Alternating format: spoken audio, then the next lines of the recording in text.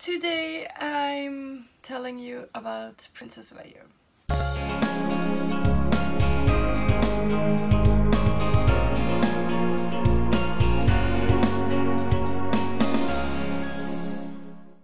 So a few weeks ago, like more than a month ago, you've seen on our social media close-up quick look of a black dress and then you never heard about it. And if you watched our fashion show at Japan Impact, you might have seen that we had the dress in the fashion show, Mezzo was wearing it, and then we had also that dress in the Omnia Vanitas, but it was a different dress. Because we were not really happy at all by the sample that the first factory did us.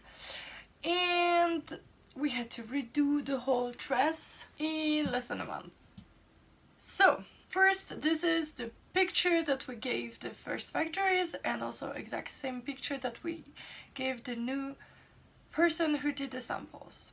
You have to know that the first factory is in China and the new person is actually a Lolita fashion designer in France. So today I'm gonna show you the difference between made in China and made in France. So these are the two dresses together and this is what we had designed. So the main problem and I think that's also a lot of our fault is that with only that designed on paper like a drawing it's really open to interpretation except for stuff like the lengths for example the first skirt that we got this long and it's not the length that we wrote on the reference sheet. We wanted 70 centimeter long and this one is barely 50 like regular length and we would we wanted the longer length. Plus if you measure the whole uh, length of fabric used to make the skirt it's only 1 meter 50 and usually you go for two and a half, three meter long, like about three times the waist to to make the um, the quantity of fabric to make a Lolita skirt and this one is way too small. At some point we thought that maybe we could open the back and you know add some fabric on the back but we would have to add one meter to make it look normal and so that was not an option. Then there's also the fact that it looks really costumey and especially, okay, this is the blouse and it's missing a sleeve because she, the French girl has to take it apart to look how it was done. Anyways, here all that frilly thing around the collar, not very beautiful. Look how she made it it's really it's also a different interpretation than our design but it's really more elegant right? And also if you look at the pin tucks pin tucks here they're just made over over the fabric with a different fabric like black plain fabric cotton. And here it's real pin tucks also she thought it would be more beautiful with the thin layer of extra lace around it and it's super pretty. And also buttons I mean a blouse. You would need a button right? No buttons. And here of course it's real buttons that you can open you know because yeah that's the point. And so I picked some very pretty buttons with her in the store so then I cannot show you here like that the overskirt because we had to tear it apart. I think the overskirt was the best part in the Chinese version because it was the same dotted tulle but they had taken the liberty of using black chiffon to make the ruffles and this was very pretty. Also we had realized that they used a lace fabric that we didn't really like we wanted another lace that was more like 3D and very detailed and very pretty. That was our idea to make a dress all in lace. but they couldn't find one and we were in a rush so we, we let them choose another one that was not exactly perfect. When we wanted to make our own we wanted to buy it but it was really expensive and I don't think you guys are ready to pay like 40 50 extra euros just for the fabric. So in that case we really liked the dotted thing and also we really liked the chiffon that I had used so we decided to pick plain chiffon and dotted chiffon and actually it's plume so it's see-through and with small dots like in velvet and it's super pretty and over there it's plain chiffon also yeah the sleeve. Not see-through though was not what we wanted and look really really costumey and really no the shape is really ugly. So this is way way more elegant. Also different layers of different length of chiffon very pretty. Uh, also the back. On the back see how they made the shirring like only three elastics and no lacing so that means that if the girl is really thin she cannot make it tighter and it will look weird.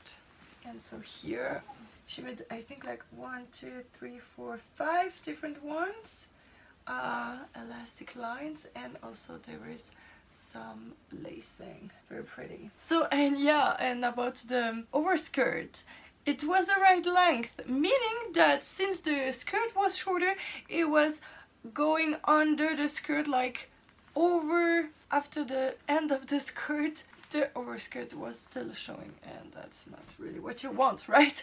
You want it at least above or maybe uh, until the exact same length not longer.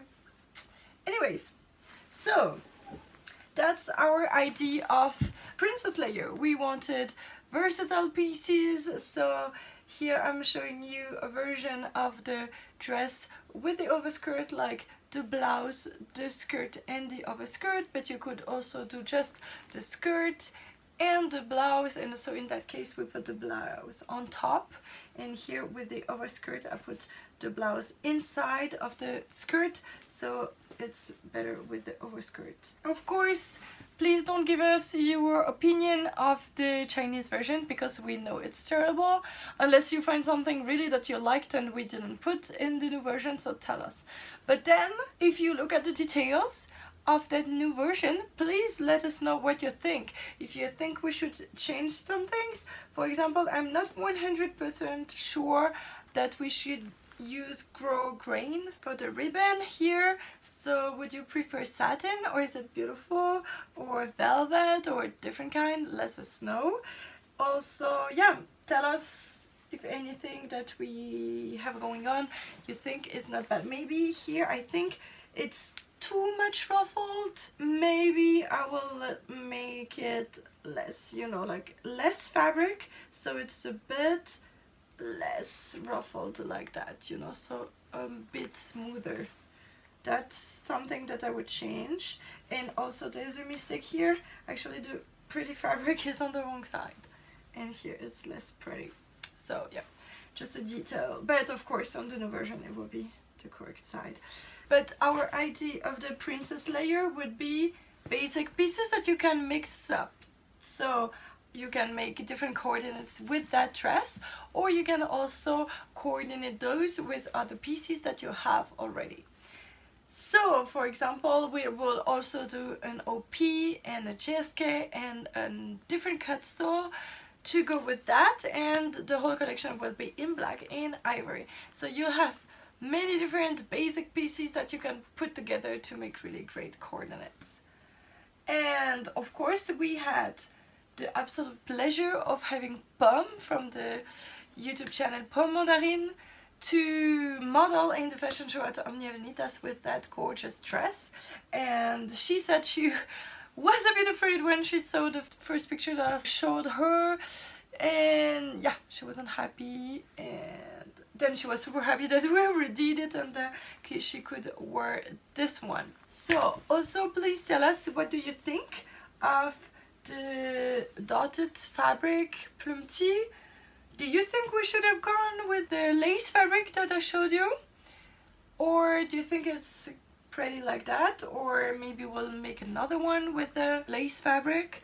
And of course here it's not see-through. We have put something under that only on the sleeves and not here.